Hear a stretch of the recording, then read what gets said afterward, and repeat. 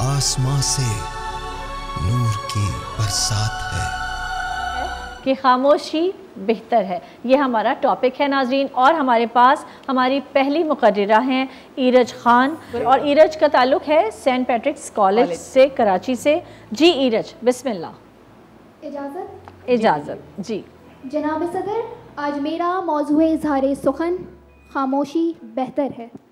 मैं पूछना चाहूँगी कि अगर खामोशी बेहतर है तो यहाँ मेरी जगह कोई गुंगा शख्स क्यों नहीं खड़ा?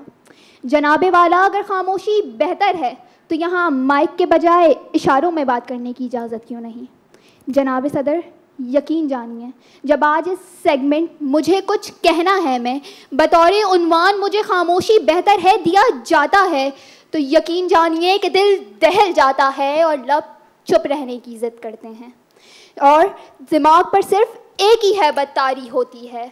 बोल के लब आज़ाद है तेरे, जिस्मो जुबा की मौत से पहले। बोल के लब आज़ाद है तेरे, जिस्मो जुबा की मौत से पहले। बोल के सच ज़िंदा है अब तक।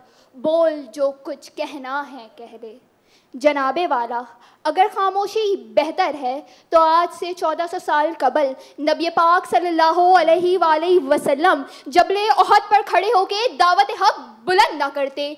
जनाबे वाला, अगर खामोशी बेहतर है तो हज़रत जाफ़र बिन तैयार निजाशी शाह हफ्शा के दरबार में खुतबा ना देते।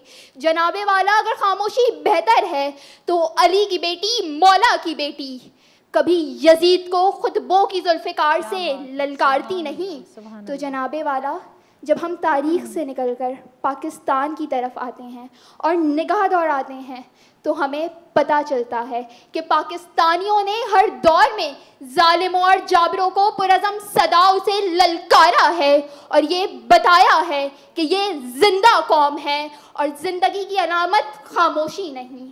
जनाबे वाला अगर हम आज की सियासी सूरत हाल पर नज़र डालें तो तहरीक अदम अतमाद भी इसी बात की मुखालफत करते नज़र आती है कि खामोशी किसी सूरत बेहतर नहीं। तो जनाबे वाला जब जब मैं चुप होने लगती हूँ, मायूस होने लगती हूँ, खामोशी का दामन थामने लगती हूँ तो कभी इकबाल तो कभी कायद, कभी आसमा जहांगीर तो कभी चौधरी असलम कभी फैज़ अहमद फैज़ तो कभी हबीब जालिब मेरे ज़मीर को झंझोड़ते हैं और बोलने पर आमादा करते हैं कि बोलो, हक के लिए बोलो, सच के लिए बोलो, जालिम के खिलाफ बोलो, जाबिर के खिलाफ बोलो। तो जनाब सदर मुझे कहने दीजिए मुझे कहने दीजिए कि, कि जिस कौम के सपूत एम एम आलम और ज़फ़र अब्बास जैसे होंगे वो कौम किसी सूरत खामोशी को बेहतर नहीं समझ सकती। बस अब मैं इतना कहना चाहूँगी कि जुल्म सहकर खामोश रहने की आदि नहीं हूँ मैं।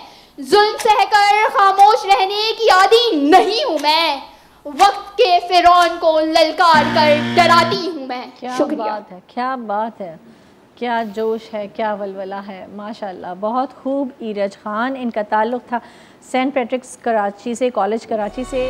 आसमां से नूर की बरसात है। नूर रहमान इश्क रमज़ान